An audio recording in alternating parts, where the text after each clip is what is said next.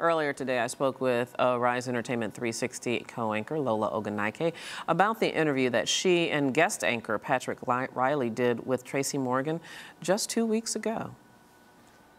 Lola, thank you so much for taking some time to be on Arise America. You just came off me. of Arise Entertainment 360. And the, the irony in this really tragic story is you just interviewed Tracy Morgan just a couple of weeks ago. Yeah, we had him on two weeks ago. And he was so excited about life. He has a new baby girl. He's happily married. All he was talking about was the future and how optimistic he was. He's on tour now, or was on tour until this accident. And he just talked about just loving the audience, loving being on stage, the feeling of that immediate rush from the audience. And he was just really in a really, really good space. He's been sober for a while, so that was also great.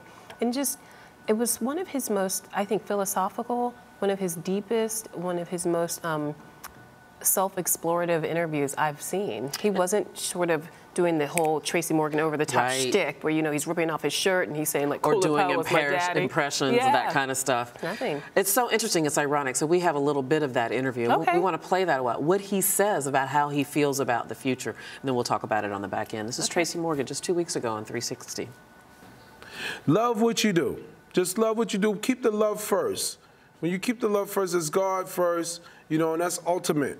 And I like to say that proudly, you know.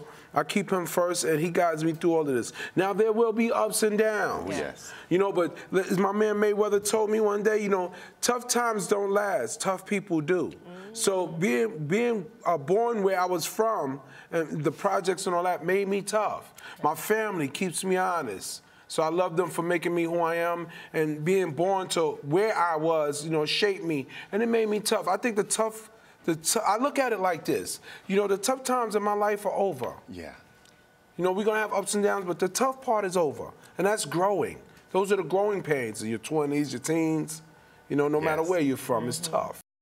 You know, what's so ironic is he thought that the tough times are over, mm -hmm. and I'm sure mm-hmm. this is going to be a challenging time. But I wonder, I'm sure he had no idea. He was prophetic. He said, tough people last through tough mm -hmm. times. And they do. And I think what, I, am actually pleased to see that portion of the interview again because it lets me know that emotionally and mentally he's ready for the physical challenge he's about to face. Mm -hmm. So yes, he has broken bones, yes, he has bruises, but internally I feel like he's at his strongest, strongest than I've ever seen him. Mm -hmm. So again, he is sober, he is clear-minded, he was very self-assured and very confident about the future. That's exactly the place you want to be in internally when you're going through something Absolutely. so damaging to your external. And isn't it a relief that this is not the result of, at least on his part, or those other entertainers that were on that limo bus, of reckless behavior. No. This is not about substance abuse or hard partying. It was just a freak accident. A freak accident. A truck driver who allegedly fell asleep at the wheel. Yeah, yeah. yeah. So. It's um, but I got yeah. Just seeing that makes me feel good. It makes me feel good. I feel like you know, again, the tough times he will have physical tough times ahead of him. He's got, you know, broken ribs, a broken femur, a broken leg, a broken nose. Uh, yeah, his body's damaged, but his soul, his mind, and his heart from that interview, I got the feeling that they are all intact. It's reassuring. Mm -hmm. I know that you mm-hmm. covered this for Arise Entertainment 360. Yeah. Were you able to learn any new information about his condition or about anything else about the accident that you can report? Not as of yet. Thus far, his uh, PR person issued a statement yesterday saying that he was operated on yesterday for his leg mm -hmm. and that he is responding. So that is a good sign because going in, he was definitely very banged up. And, you know, one of his mentors and dear friends actually died. So the fact that he actually actually made it through the crash and was able to survive an operation to his leg and is able to speak is it's a blessing. So, like yeah. I said, one step forward in the right direction. Yeah, we want to be sure and uh, send our condolences and our thoughts to James McNair's family, the comedian known as Jimmy Mack, who did pass away in uh, in this accident. Mm -hmm. You know, it's also so ironic that in the interview that you did with him, he talked about how much he loved being on stage yeah. in that live audience. He was coming from a gig mm -hmm. when this happened. Let's play a little bit of All that. Right. We'll talk some yeah. more relationship between you and them are established in 30 seconds. Yeah. They let you know. With TV, you gotta wait for the ratings. Movies, you gotta wait for the box office. Stand up live, they let you know right away if they love you or not. Yeah. And they, they love simply you. say, well, you know, I love them back. Yeah. I give them the love with my comedy, with my sense of humor. I can't do it no other way.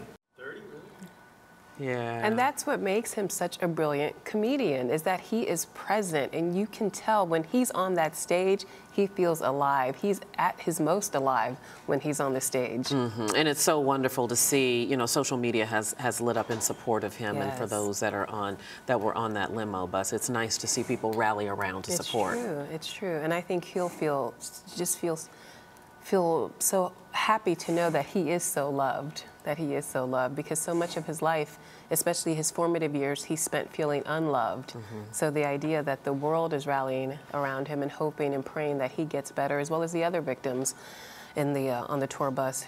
Um, yeah, that got I injured. Yeah, there are two thing. Others that are in critical uh, critical condition, and uh, bears mentioning that was Jeffrey Millea, I believe is how you say his last name, who was his manager, and Ardie Fuqua, uh, who also is a comedian.